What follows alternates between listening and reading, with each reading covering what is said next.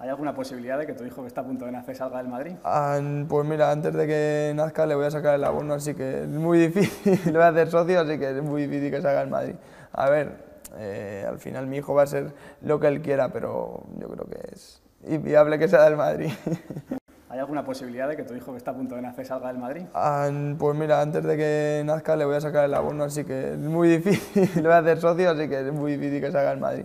A ver, eh, al final mi hijo va a ser lo que él quiera, pero yo creo que es inviable que sea del Madrid.